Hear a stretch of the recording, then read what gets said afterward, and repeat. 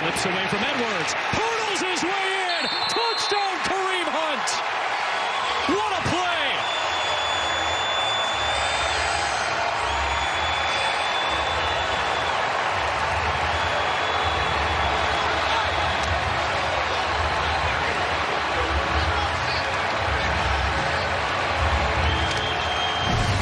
Kareem Hunt, the outside play. Baker Mayfield reverse pivot, gives it to him on the outside run.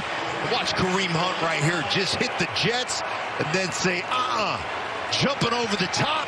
That's Mills into the end zone for the touchdown. Look at that leap. He looked like one of them, one of them uh, long jumpers. His feet going.